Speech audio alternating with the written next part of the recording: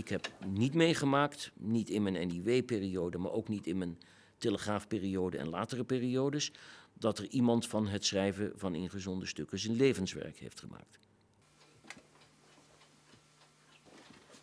Dit jaartal is verkeerd, dit heeft die nooit zo gezegd. Dus dat voortdurend corrigeren van dingen, dat heeft ook een soort...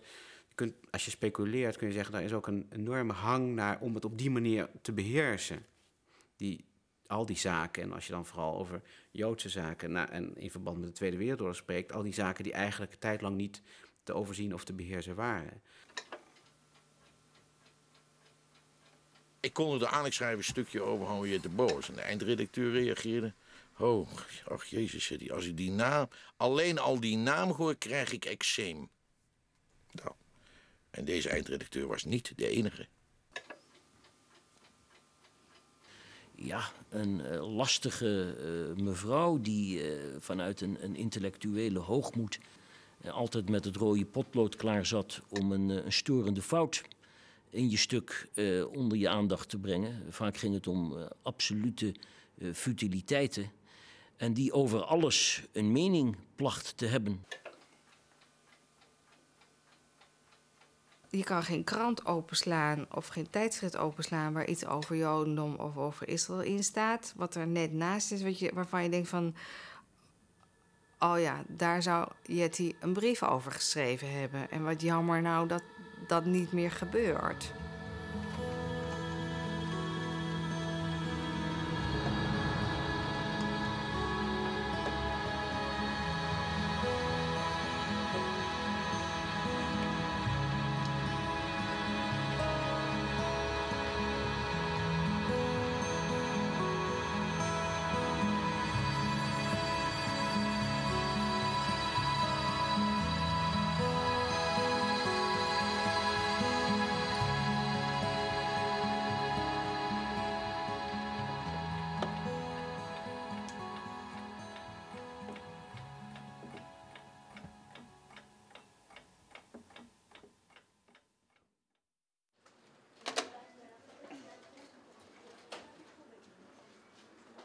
Goede ingezonden brief moet, moet natuurlijk uh, ter zake zijn. Liefst snel op het nieuws reageren. Of snel op het artikel in de krant of de kwestie uh, waar de reactie op is.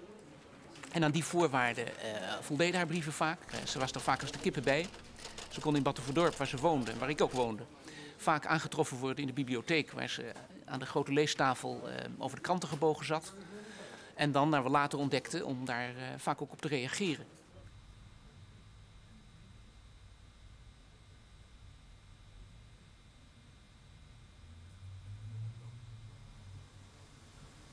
ik heb, boven heb ik ook enorm veel meer boeken, maar hier heb ik van klein. Enorm veel meer nog dan wat hier? Oh, oh ja, dit is van kleinigheid. Oh, u lijkt zich nooit af te vragen wat het ja? effect is u, van, op mensen van wat u zegt. Nee, nee. Nee.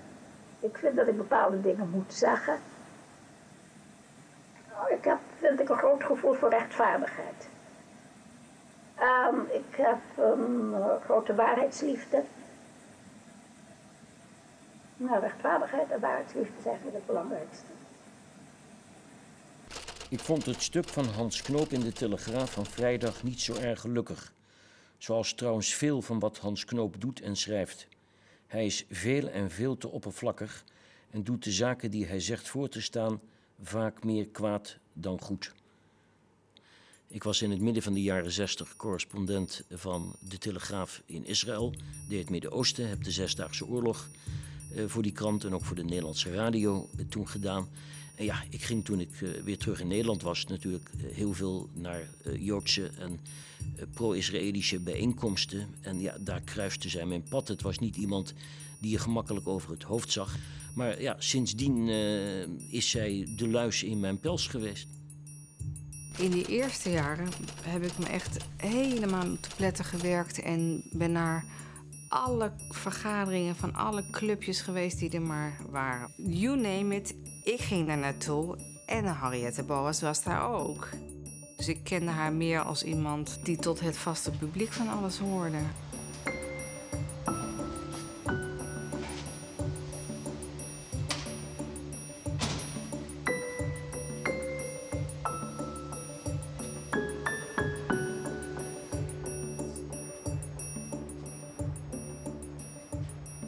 Zelf zegt dat we elkaar ontmoet hebben bij het Mentenproces. Ja, dat was, ging niet veel verder dan een handje geven. En, eh, ja, ik vond haar toen nou niet zo dat ik dacht, daar ga ik koffie mee drinken. Ik wist ook helemaal niet dat zij niet zo snel bereid was om met iemand koffie te drinken. Ik vond het toch een beetje een, uh, ja, fanatieke zioniste. Maakte de indruk soms verbeten te zijn. Wat ze volgens mij niet was, maar die indruk maakte ze wel. Maar ik denk dat er een aantal factoren waren. Ik denk haar sociale tekortkomingen. Ratsboom. Zeggen waar het op staat. En niet even wachten van, ja, is dit nou wel slim dat ik dat nu zeg? Ik denk dat ze niet veel uh, van haar meningen opslokte. Ze wordt dan wel vaak hoedster van Joodse zaken genoemd, maar het was nou niet zo dat ze vanuit een parti pris andere, uh, andere Joden spaarde in haar kritiek. Integendeel, die kregen het hardst van langs altijd. Ik denk dat heel veel uh, Joodse Nederlands haar juist een soort ass vonden in, in, uh, in werkelijkheid. Iemand die altijd weer het gemeenschapsgevoel moest, moet verstoren door dan weer met die feiten aan te komen. Dus ik denk dat haar, zij was natuurlijk van nature de, de, de buitenstaander. Hier hebben we Henriette.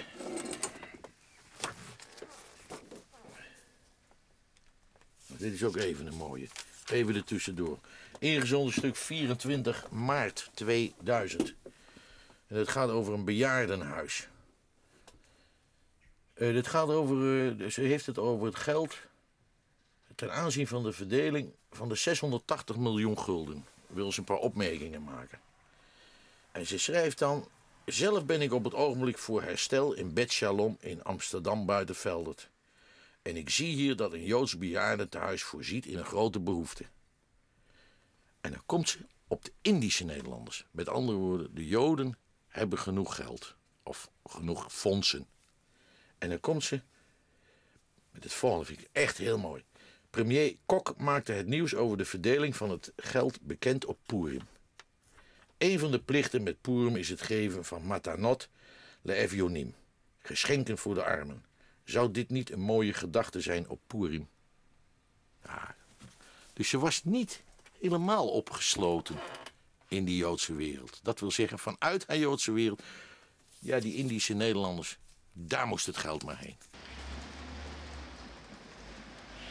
Het is een typische exponent geweest, zo zag ik er altijd, van het vooroorlogse reactionaire Joodse intellectualisme. Iemand die vanuit een ivoren toren uh, Joden en Jodendom bekeek als een soort intellectuele hobby. Uh, Jodendom betekende voor haar lid zijn van het uh, Genootschap voor Joodse Wetenschap. Jodendom betekende voor haar niet een broodje eten bij Salmeijer. Dat deed het plebs. Voor haar was Jodendom inherent aan intellectualisme. En dit is nog maar... een kleine stukje. Is, nou ja, twee derde. Een derde is... nou, er zijn zo'n 5000 boeken geveild bij Burgerstijk en Leiden. Ja. En er zijn uh, boeken naar de Italianen gegaan en aan de Universiteit van Israël. En wat is de bedoeling van deze? Nou, de bedoeling is nu, uh, dat zijn in ieder geval de laatste plannen, om het uh, bij instituut uh, Menashe ben Israël... Oh, ja. ja. Voor de studenten? Voor de studenten, nou, ja. dat is geweldig. Ja. Dat is gewoon een hele speciale vrouw. Een enorme, dat zie je toch in die boeken ook, wat ze verzamelde. Dat, Hè, en of verzamelde. Je, je, je ziet toch uh, dat ze, ja, dat ze een hele, een hele aparte, speciale ja, intelligentie had. Uh, dat, dat, dat zie ik echt wel. Ik vond het altijd wel bijzonder dat, uh, ja, dat ze toch op 88, op de 87ste, dat ze dan toch ja, met, haar, met de tas onder de arm altijd toch met de trein overal, overal naartoe ging. Dan was ik op zaterdagmorgen bij dan zet ik er af bij de bibliotheek in Osdorp. En nou, dan ging ze daar nog een paar uur kranten lezen. Nou, moest ik op haar wachten? Nee, dat hoefde precies niet. Ze ging wel alleen, alleen terug. Dat is, ja, zo was zij. Heel erg zelfstandig, tot, tot het, eigenlijk tot op het laatst toe. Nu komen we aan een stuk van de straat dat ik het beste ken, natuurlijk. En Dit is nummer 31. Daar uh, hebben mijn ouders dus eerst gewoond. En in het bovenhuis. En daar zijn we allemaal geboren.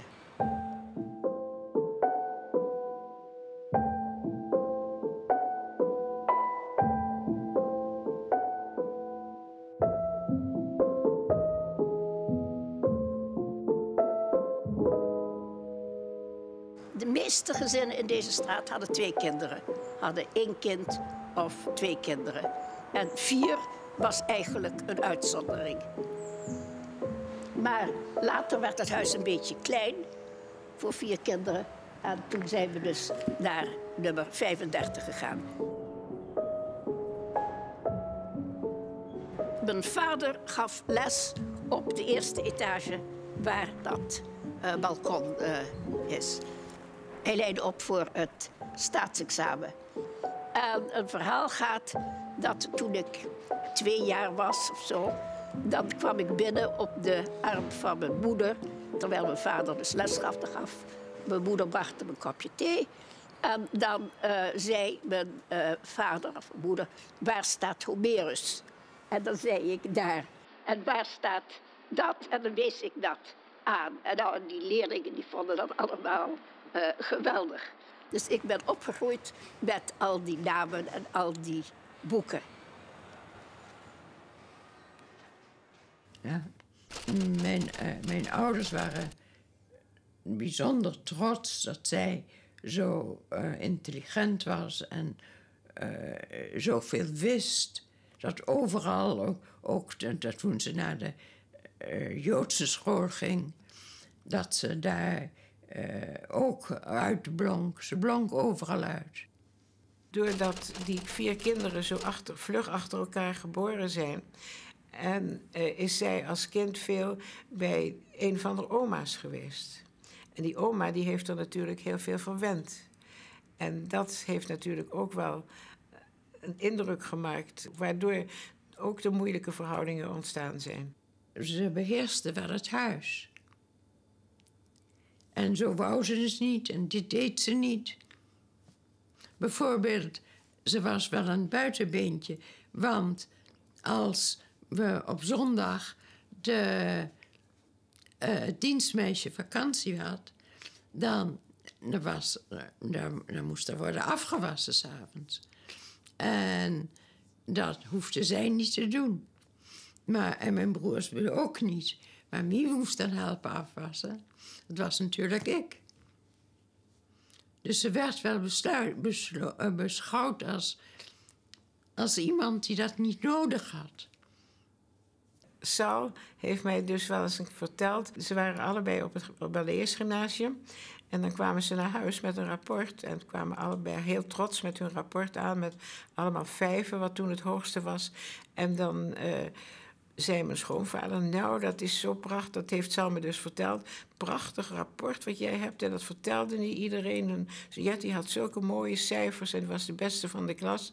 En dan kwam Sal met zijn rapport erachteraan. En dat zag er ongeveer net zo uit. En misschien voor talen ietsje minder. En dan. Uh, zei hij, en uh, nou hier is mijn rapport. Oh, dat is mooi, dat is goed, dankjewel. En dan werd het getekend. Dat was dus, uh, ze werd opgehemeld.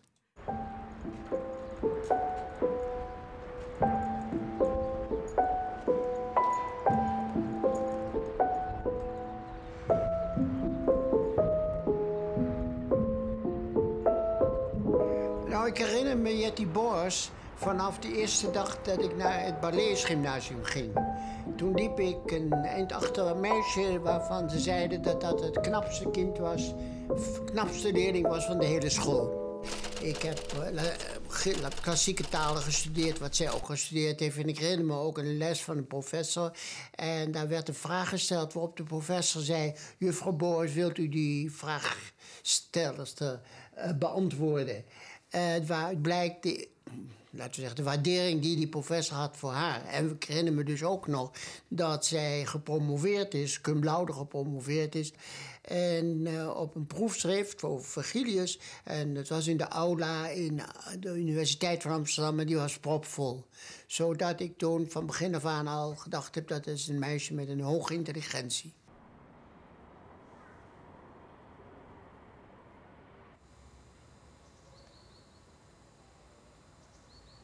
Ik was op school de knapste leerling van de klas altijd. Het was al heel lang duidelijk dat ik naar het gymnasium zou gaan. Want ik was verreweg de knapste, verreweg de intellectueelste. Nu was ik op een meisjesschool. En daar werd dus ook uh, handenarbeid gedaan. We zeggen uh, handwerken gedaan. Nou, en dat deed ik niet erg goed. Maar ik las bijzonder goed voor. En dan, toen, toen zei ze al van, ik weet niet meer in welke klas... dat ik niet hoefde te handwerken. Want ik ging toch naar het gymnasium. Maar ik mocht dat altijd voorlezen terwijl de andere kinderen, meisjes handwerkten. Dus ik heb nooit goed handwerken geleerd. We zijn natuurlijk wel enigszins intellectualistisch uh, opgevoed. En uh, dat uh, wetenschap en intellect, dat was wel erg belangrijk. En we zijn dus minder op wereldse zaken gericht geweest. Mijn vader die gaf de hele dag les. Maar s'avonds dan zette hij zich aan het werk om artikelen te schrijven en bepaalde uh, uh, dingen te onderzoeken. En dan leefde hij eigenlijk helemaal voor de wetenschap. Dit is uw vader ook, hè? Jullie... Uh, ja. ja. Hij is nooit hoogleraar geworden. Nee, dat is het juist. Hij is een paar keer gepasseerd als hoogleraar. Het heeft hem toch verbitterd, in zekere zin. Op mij heeft het in zoverre een stempel gedrukt dat uh, ik had ook bepaalde dingen willen bereiken, die heb ik ook niet bereikt. En toen, maar toen ben ik nooit verbitterd geworden, maar dan ben ik uh, iets anders uh, gaan doen. Mm -hmm. want ik dacht, dat moet ik niet doen, want dan word ik, dan, dan verknoei ik eigenlijk mijn hele leven. Mijn beste vriendin in de eerste klasse van het gymnasium was iemand die later ook een heel bekend schrijfster is geworden, of een vrij bekend schrijfster, uh, Elisabeth Kezing. En zij had altijd ook hoge cijfers voor opstellen, maar zij schreef heel anders dan ik, want zij had een grote fantasie. En ik heb eigenlijk geen fantasie, maar ik uh, formuleerde dingen veel beter. En ze heeft later een roman geschreven, nee, een autobiografie geschreven. Dat heet, ik meen op de muur of zoiets. En toen heb ik het gelezen en toen zei ik, ja, maar wat je vertelt klopt toch helemaal niet daar en daarover. Ik heb het ook meegemaakt. Toen zei ze, ja, maar dit is ook geen autobiografie, dat is een vie romancier. En dat zou ik nooit kunnen doen, want ik vind de dingen moeten kloppen. Ja, dat is echt de voeten uit. Precies, dingen moeten kloppen. Ook een beetje die, die, die, uh, dat, dat oud-gymnasiale van iemand, herinneren of iemand nog hoge cijfers had. Ook dat, dat, dat een beetje kleinburgerlijke van uh, die was goed op school of die had hoge cijfers. Daar ook een beetje tegen opkijken. En dat dodelijke, dat zat in die brieven natuurlijk ook vaak. Die, die, ze was nooit vals of gemeen in die brieven, althans niet openlijk of hetsig of honend. Die brieven waren eigenlijk altijd keurige, ogenschijnlijk keurige correcties. Maar door de formulering zat er vaak wel een soort. Was het toch, dat vond ik eigenlijk, als ik nu eraan denk, vond, vind ik dat ook wel weer. Ik herken dat ook wel. Dat ze dan de titel van het boek van Elisabeth Kezing niet meer weet. Dit weet ze natuurlijk wel, want ze weet al dat soort dingen onthoudt ze uit. Maar dus dat heeft ook eens iets, iets licht dedaigneus. Dus het feit dat iemand een rijke fantasie heeft, is ook helemaal geen kwaliteit. Dat lijkt wel zoals ze het formuleert, maar zo bedoelt het helemaal niet. Ik formuleerde dingen veel beter. Ze is ook wat dat betreft, laat ze even de spijker er wel even heel erg uh, met, met ferme klappen in. Alleen in de wijnrepzaak uh, heeft zij het gebracht van ingezonden stukkenschrijfster tot belangrijk participant in de discussie.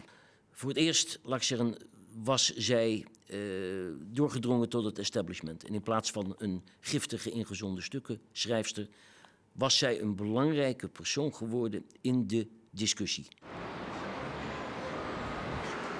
Dat is nummer één.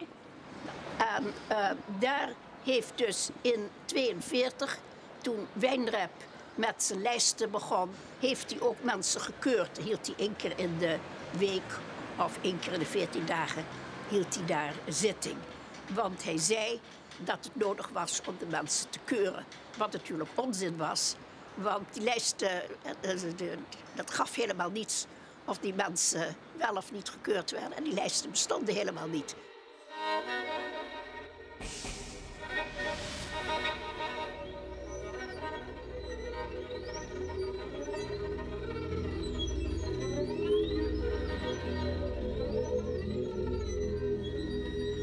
Het ging over de vraag of Wijnrep een collaborateur dan wel een verzetsheld was geweest.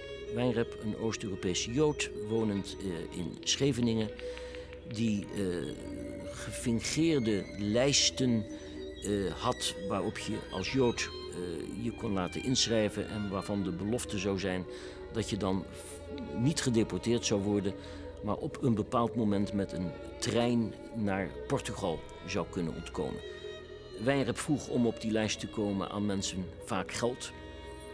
En hij placht ook vrouwen gynaecologisch te onderzoeken alvorens je op die lijst kwam. Want hij gaf zich uh, veelal ten onrechte, valselijk dus uit als arts. En hij zei dus vaak dat medische onderzoeken noodzakelijk waren om te kunnen emigreren en dat hij zelf die onderzoeken uitvoerde. Dit is de NPS op Radio 1. Vanuit Amsterdam. De tafel van Pam. Goedemiddag. Vandaag gaan we het gedurende het gehele uur hebben over een figuur die vele jaren het debat in Nederland heeft beheerst. En ik bedoel dan de figuur van Friedrich Wijnrep, over wie kort geleden een omvangrijke studie is geschreven, getiteld Een fantast schrijft geschiedenis. De auteur van deze studie, van dit proefschrift ook, is hier aanwezig. Dr. Regina Gruter. Deel 1 van uh, Wijnreps memoires kwamen uit in mei 69. Dat veroorzaakte direct al commotie. Uh, daarna werd het wat rustiger, maar toen deel 2 en 3 in november van datzelfde jaar uitkwamen, toen uh, was er nog meer commotie eigenlijk, min of meer door de, het nawoord van Aad Nuis, um, waarin hij betoogde dat de naoorlogse veroordeling ten onrechte was geweest. Dit had politieke vragen uh, in de Tweede Kamer tot gevolg. En daardoor heeft het RIOT van de uh, toenmalige minister van Justitie een, de opdracht gekregen om een onderzoek te doen. En dat onderzoek dat is ter hand genomen door Van der Leeuw hier van het instituut en een jurist. Nou, dat heeft heel lang geduurd. Henriette Boas was uh, absoluut niet gecharmeerd van Wijnrep en van zijn verhalen. Ze trad echt op namens zichzelf.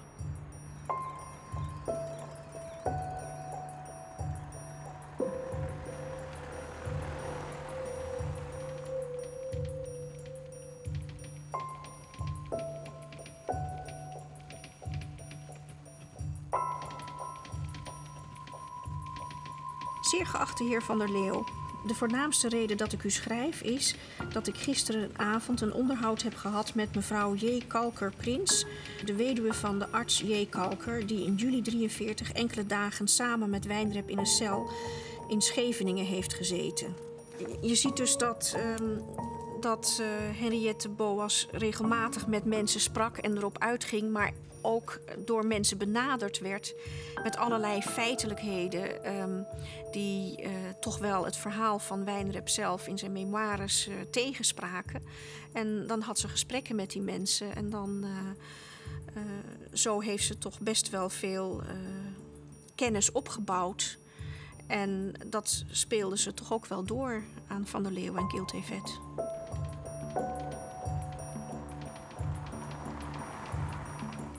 Ik stond zelf aan de, helemaal in het begin aan de pro-Wijnrep-kant. Ik ben de eerste geweest die Wijnrep ging opzoeken om hem te interviewen.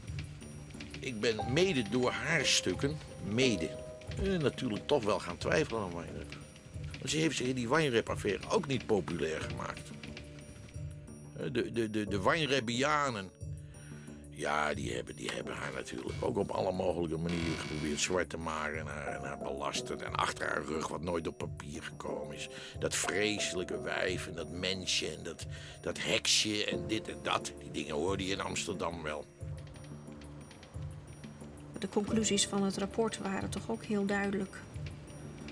En um, ook daarna zijn er geen uh, ja, nieuwe inzichten en nieuwe feiten naar voren gekomen waaruit je kan concluderen dat, uh, dat de conclusies van het wijnreprapport onjuist zijn.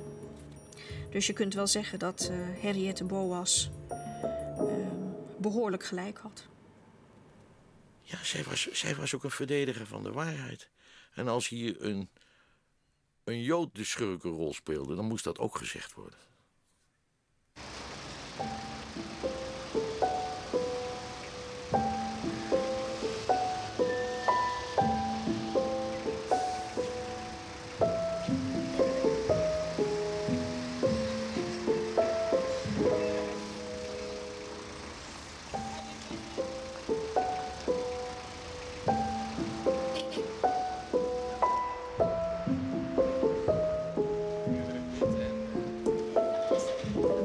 School, mijn lagere school en later het uh, gymnasium hadden een veel grotere invloed op mij dan, uh, dan de Joodse cultuur. Later ben, hebben we dus uh, Joodse les gehad op de Dufay-school. En dat heeft een bijzonder grote invloed op ons gehad.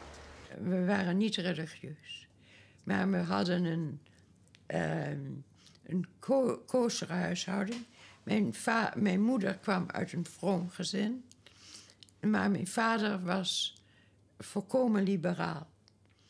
En hij gaf ook op Shabbat les. En verder deden we er niet veel aan. Tot wij Zionistisch waren.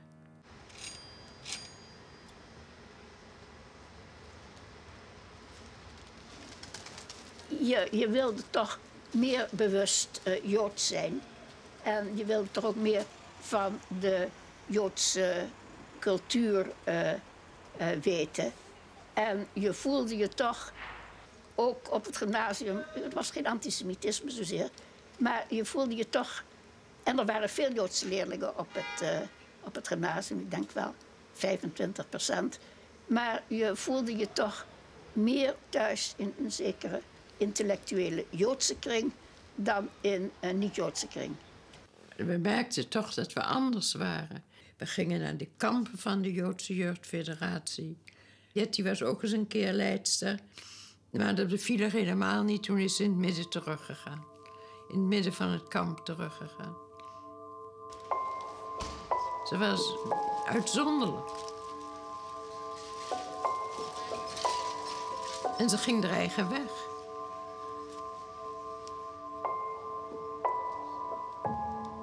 En zo'n meisjeskamp, ja, dat was eigenlijk niets voor haar. Dan kon ze de tijd beter besteden.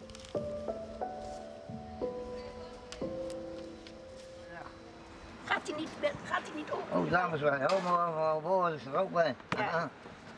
Goed zo. Ja, dan gaan we naar binnen.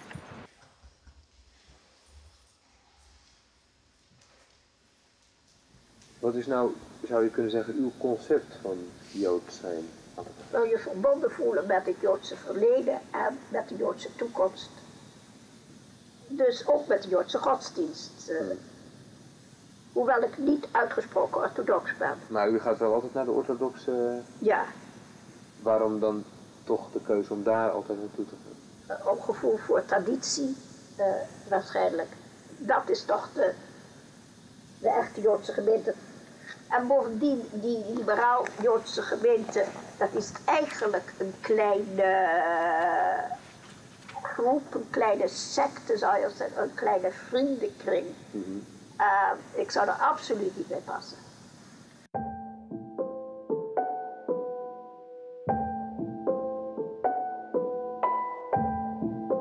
De oorlog is in 1939 uitgebroken. En toen is, had ze een stipendium voor Frankrijk.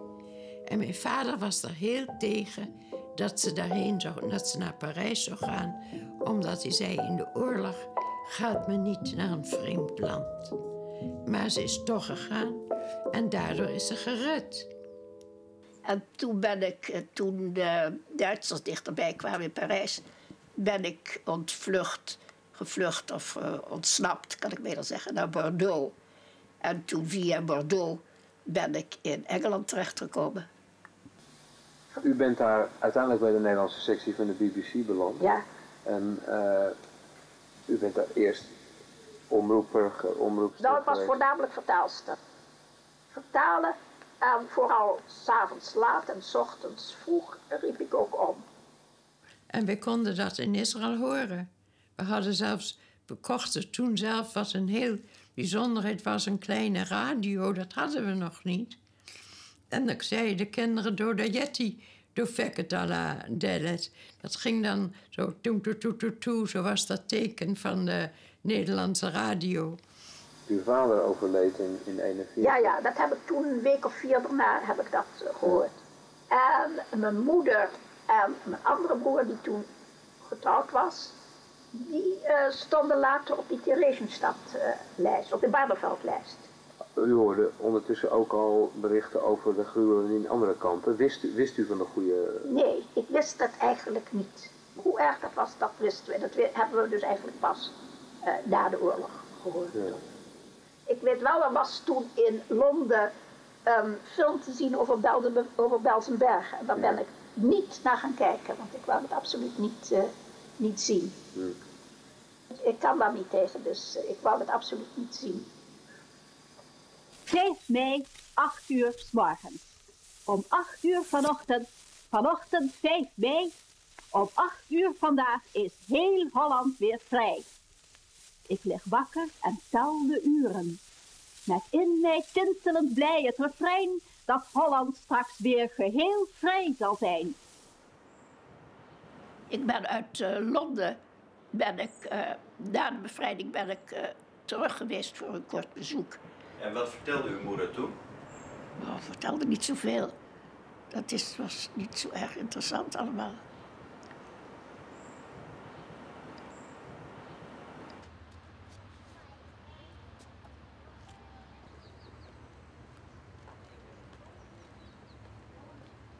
U, u bent een jaar of vier in Israël geweest. Ja. Uh, ik heb begrepen dat u er lange tijd heeft gewerkt als correspondente van het Handelsblad. Onder andere, ja. Wat deed u er nog meer? Uh, nou, um, ik was daar ook wel uh, bij de Jerusalem Post, daar werkte ik ook. Henrietta was already an institution, but she wasn't actually on the staff. She was a contributor, a regular contributor. And afterwards, uh, she sort of made herself our correspondent in Amsterdam. We would never have sent a correspondent to be in Amsterdam. We couldn't afford it, and we weren't all that interested. But Henrietta was there, and she kept uh, herself busy and uh, kept sending us material that we were able to use. Uh, ik verdiende dus weinig. En ik had tenslotte geen vak. Hmm. Ik bedoel, ik was, uh, uh, had klassieke letteren gestudeerd, maar dat wordt daar bijna niet gegeven. Hmm. Er was toen nog heel weinig werkgelegenheid. Dat is later wel gekomen, maar in het begin is dat, uh, was dat niet zo. Maar het was hier geen plaats voor haar. Haar type was niet in Holland, in het kleine Jeruzalem, kon ze haar weg niet vinden omdat, kijk, ze was zo buitenissig. Maar uh, in Holland is dat minder opvallend.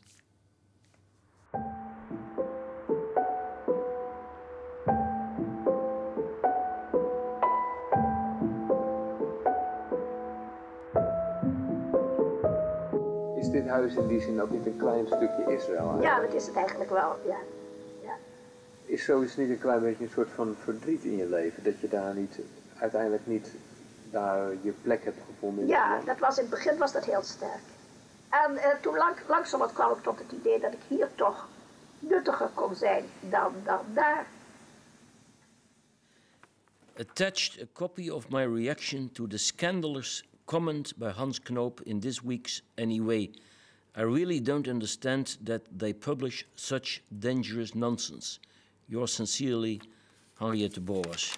Ik vind het uh, van een, uh, laat ik zeggen, klikspaangehalte waar ik eerlijk gezegd niet goed van word. Wist u dat? Nee. Dat zij wekelijks een brief schreef aan de Israëlische ambassade? Nee, ik uh, wist wel dat zij, zoal niet wekelijks, dan toch zeker dagelijks brieven schreef. Maar niet dat zij als een soort van onbezoldigd spion Joodse journalisten aangaf, want een ander woord kan ik er niet voor gebruiken, als zijnde onbetrouwbaar bij de Israëlische ambassade. Ik vind dit helemaal niet klikspaanderig, want kijk eens. Zij was pro-Israël, niet kritiekloos, maar zij was pro-Israël. Er is hier een Israëlische ambassade die opkomt voor de belangen van Israël. Niet van Bulgarije en ook niet van Finland, die zitten voor Israël. Nou, dat een Zionist, een aanhangster van de staat Israël, wat zij altijd heeft ze nooit verzwegen, dat hij daar eh, een, dag of, of, of, vijf uur in de week daar eh, rapporten maakt. Eh, de normaalste, normaalste, normaalste zaak van de wereld. Ik denk dat het. Uh,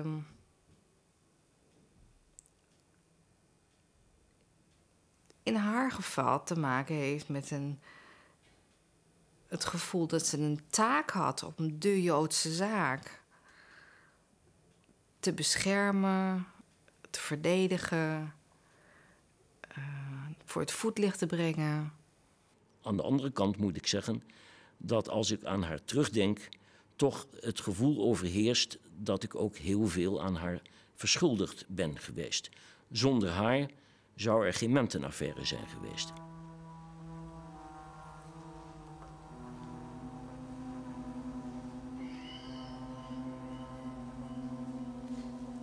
Heden lezen wij in de kranten verhalen over de afschuwelijke dingen die de oorlogsmisdadiger uit Limburg zou hebben gepleegd. Nee, de voorzitter, dat werpt ook de vraag op waarom de man niet in de gaten is gehouden. Het is niet gelukt om mensen te arresteren. Dat is de uitkomst van wat men noemt voorzichtigheid.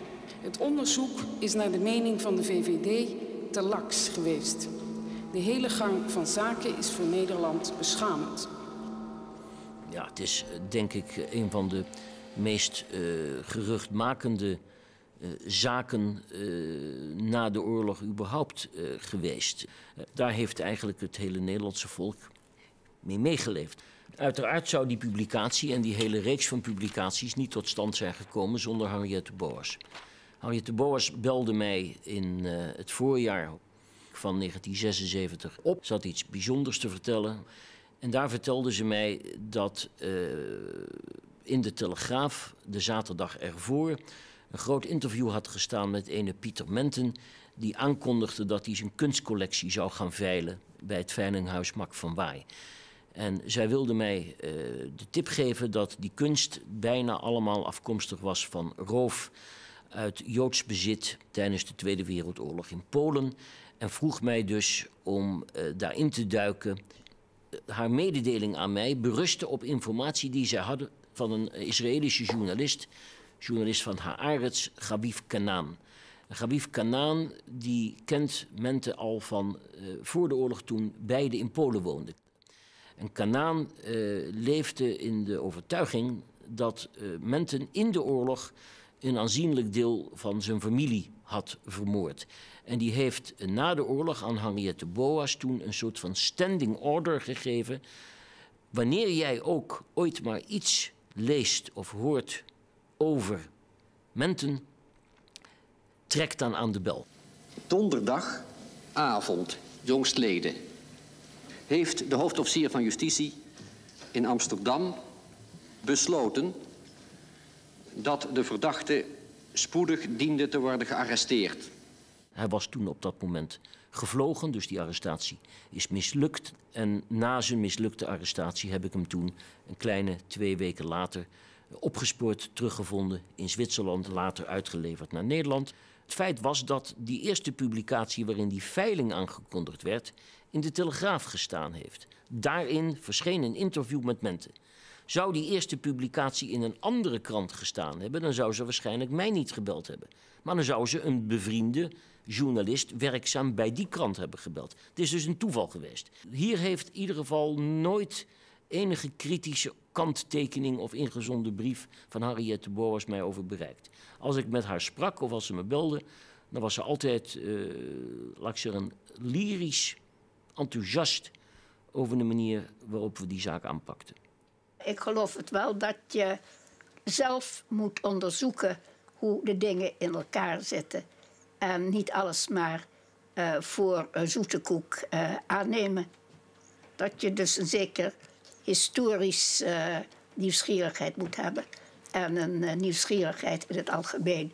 Nieuwsgierigheid in de goede zin van het woord.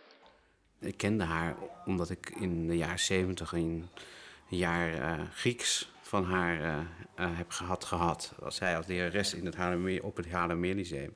Iedere leerling heeft herinnering aan excentrieke leraren.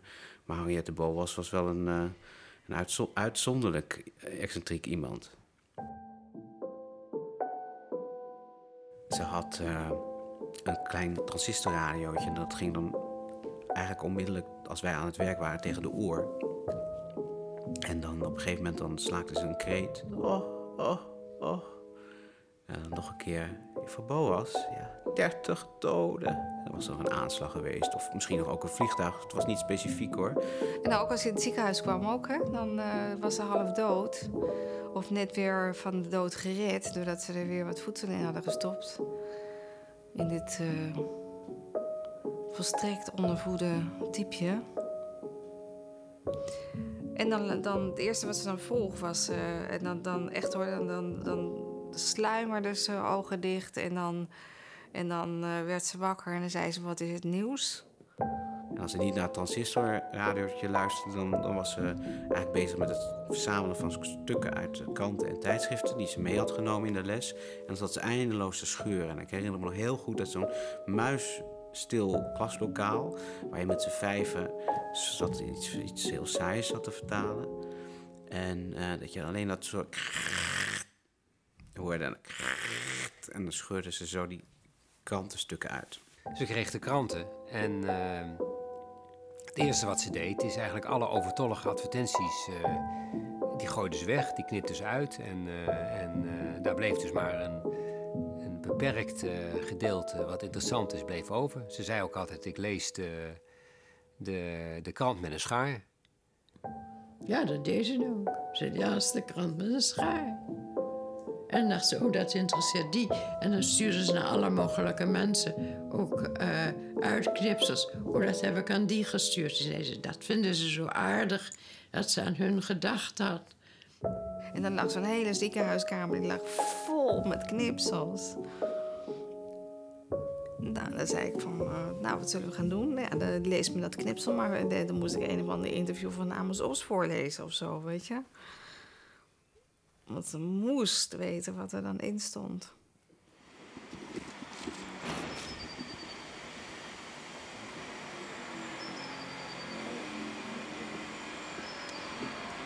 Ik denk dat het voor haar de manier was om haar identiteit in stand te houden. En ik denk ook dat het voor haar de manier was om überhaupt nog een relatie met, met mensen te hebben. Want daarzonder was er niks. Ze had geen familie, ze had geen lover. Ze heeft één grote liefde gehad. Niemand weet wie dat is geweest. Althans, de mensen die het weten, die houden hun kaken sterk op elkaar geklemd. Waarom weet ik niet. Maar, en die man is vermoord en uh, that's it. Ja, dat heeft ze ook gehad, maar is niet doorgegaan. En misschien, uh, ik geloof niet dat ze uh, bereid zou zijn. Een huwelijk is iets van geven en nemen. Dat ze dat zou kunnen volhouden. Ze kreeg liefdesbrieven van hem. En die liefdesbrieven, die stak ze tussen de spiegel. Dat we hem vooral allemaal moesten lezen. Ik heb er nooit een blik ingeslagen, want dat dacht ik niet aan natuurlijk. Dat deden we niet.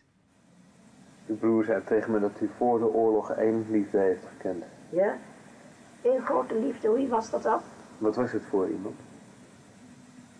Een studenten bij de klas, maar ik zal één voorbeeld nemen. Ja. Dus we hadden het er uh, dan wel over, over ons toekomstige? Mm -hmm. En dan zei ik, waar is mijn studeerkamer? en die zei die, nee, waarom moet jij een studeerkamer hebben? nee, dat was het. En toen uh, zei je kan toch bij mij zitten als ik werk? Ik zeg, nee, ik moet een eigen kamer hebben. Dus dat was het eigenlijk. U bent een solo-gangster? Ja. Nou, ik vind dat, dat ik gelijk heb vaak en dat ik dan niet iets moet doen wat ik vind wat... Geen compromissen. Geen compromissen en niet iets wat niet bij me past. En de poes? Oh, de poes houdt van me, kijk eens. Bent u niet getrouwd met de Joodse zaak? Ja, in zekere zin wel. En dat is een liefde voor het leven? Ja.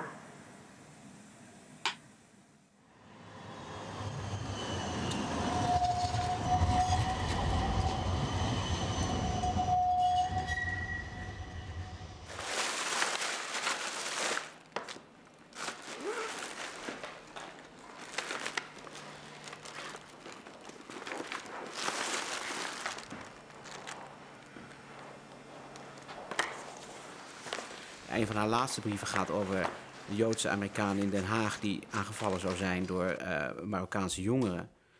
Eh, en die toen zei: Ik ga asiel aanvragen in Israël, want het is niet meer leefbaar. Nou, dan krijg je nog een heel moeizaam getypte brief. Ja, je hoeft helemaal als Jood geen asiel aan te vragen in uh, Israël. Dus nou, met zo'n hint, wat klopte van het rest van het verhaal? Nou, die man bleek opeens verdwenen. Dat hele verhaal bleek niet te klopt te hebben. Dus ze had een heel goed instinct voor dat soort dingen.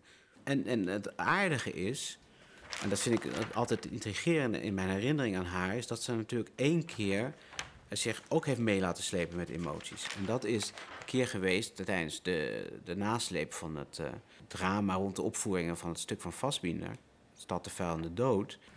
Dat was eigenlijk totaal atypisch voor iemand als Boas, omdat zij altijd eerst zou moeten kijken wat er feitelijk aan de hand was. Hij zuigt ons uit, de Jood, drinkt ons bloed.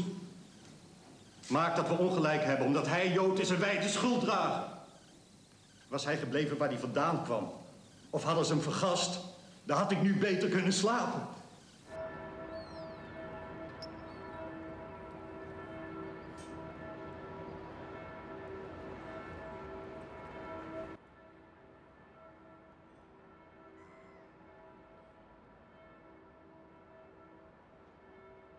Wat het was, was een, een eindexamen. Het was een eindexamenproductie. Het was een gratis toneelstukje waar je wat acteurs probeert bij elkaar te scharrelen. De hoofdrol gaat over een man die heel Frankfurt volzet met, uh, met wolkenkrabbers. Ja? Het, het stuk uh, behelst eigenlijk de gedachte dat hij dat kon doen omdat, omdat hij Joods was. De rol van de rijke Jood met alle stereotypen daarvan wordt naar men weet vertolkt door Albert Blitz, die van Joodse afkomst is en juist daarom voor die rol werd aangezocht. De reden kan moeilijk geweest zijn dat hij zo'n befaamd acteur is. Ze, ze, wordt emotioneel, dat is duidelijk. De, dat, de, de, reden kan moeilijk geweest zijn dat hij zo'n befaamd acteur is. Dat is natuurlijk. Uh, natuurlijk ben ik geen befaamd acteur. Maar ze, gaat daar heel erg. Uh, ze gaat, het is net een streepje meer dan nodig is, natuurlijk. Ik heb het trouwens voor het eerst gezien op een, op toen, ik, toen ik de film van hoe heet die, uh, de Miranda had, had ingesproken. En toen was er een bijeenkomst. En daar was ik dus als, als de acteur Albert Blitz. En, uh, en daar, uh, daar zat, liep iemand ons maar, als we daar met... Ik denk, wat moet dat vrouwtje toch naar me loeren? En toen dacht ik, shit, dat, dat is Harriette Boas. De Amsterdamse acteur die afgelopen woensdagavond in België werd ontvoerd... is het slachtoffer geweest van een groep die zich noemt... de Nederlandse Fascisten Jongerenorganisatie... Croiset was de afgelopen weken betrokken bij de protesten tegen de opvoering van Fassbinders theaterstuk Het Vuil, de Stad en de Dood. Onder de kop Rotterdam, vuilnis en de dood verscheen in het blad Haaretz een artikel dat de vaststelling dat over Nederland nu een golf van antisemitisme gaat tot uitgangspunt heeft. In dit artikel van de hand van Henriette Boas de Nederlandse correspondente van dit, van dit invloedrijke Israëlische ochtendblad, wordt de conclusie getrokken dat deze antisemitische uitbarsting heviger is dan wat zich de afgelopen 40 jaar heeft voorgedaan. Dat is dus een citaat. Nee, natuurlijk niet. Die golf van antisemitisme was er ook helemaal niet. Dat, dat, dat, was alleen de, wij hadden zeven bommeldingen bij die voorstelling, die waren van Jules Croiset. De acteur Jules Croisset heeft het hele verhaal... dat hij op 2 december in België ontvoerd was door fascisten verzonnen. Croisset heeft het vandaag toegegeven bij de Belgische politie.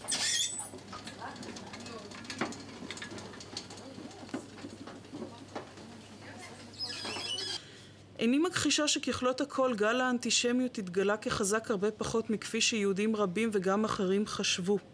בסיכום, אולי קיימת מעט מאוד אנטישמיות בהולנד כיום, וכמובן אין לזהות אנטי-ישראליות ואנטי-ציונות עם אנטישמיות, אך אפילו קדוש יכול היה להפך לאנטי-ישראלי, ואולי אפילו לאנטישמי בעקבות הפרסומים באמצעי התקשורת ההולנדים על ישראל.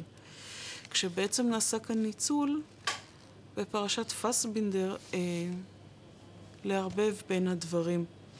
עד כדי כך שהאדווה האנטישמית הסתירה, האדווה שעליה היא דיברה בעצם הסתירה מערבולת אנטישמית מתחת לפני השטח שמעולם לא נרגעה.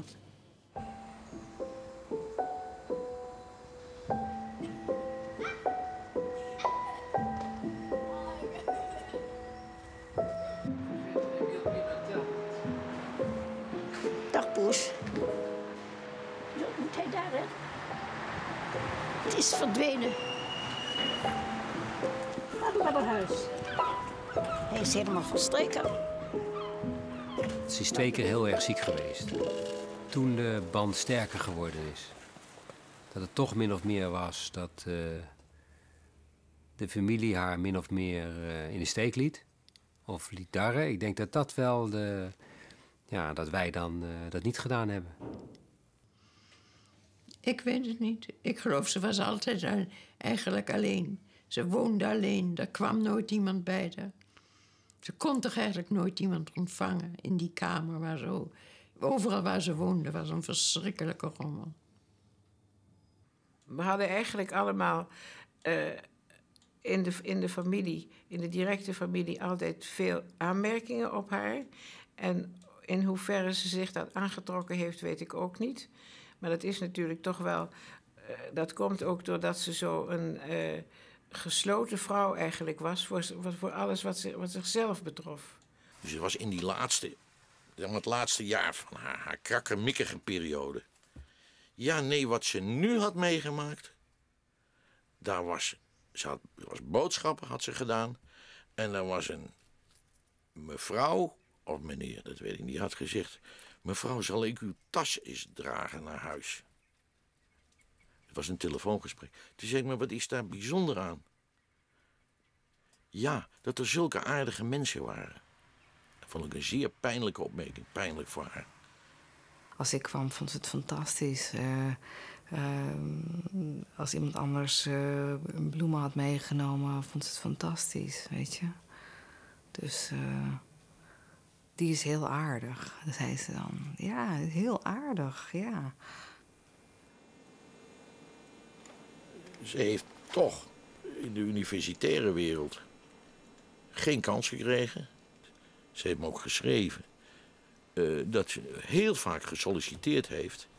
En dan kwam ze voor een commissie te zitten. En er zat dan meestal ook een oudere dame, schreef ze met enig venijn, die het allemaal weer beter wist dan zij. En oudere heren die hooghartig deden tegen haar. En dan kreeg ze zo'n briefje, helaas zullen we van uw sollicitatie geen gebruik maken. Ja, ik denk in het persoonlijke vlak en, in het. f- op haar vakgebied. Eh, dat heeft ze ook met nadruk geschre- geschreven. Eh, ze werd hooghartig, hautain en onaangenaam bejegend door Joden, zowel door Joden als niet-Joden. Mis je haar? Ja, want ik ben natuurlijk een van diegenen die eh, in die kranten denkt, verdomme, ze staat er niet meer in. En het was altijd scherp. Ik vind het jammer dat ze er niet meer is. Laat ik dat voorop stellen. Want dit soort mensen geeft in ieder geval kleur aan de samenleving en zeker kleur aan de journalistiek. Eh, journalisten moeten ook luizen in de pels hebben. Ze moeten luizen in de pels zijn, daar waar het het establishment betreft. Maar er is ook niets op tegen als lezers journalisten hinderlijk volgen. En zeker als die over een grote kennis van zaken beschikken. En dat deed Henriette. Daarover bestaat geen twijfel. Nou, en bedankt voor uw geduld. Ja.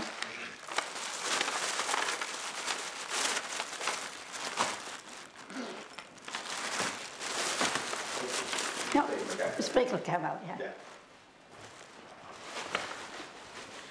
Tegelijkertijd is het iemand die no- nooit aandru- nadrukkelijk aanwezig geweest is.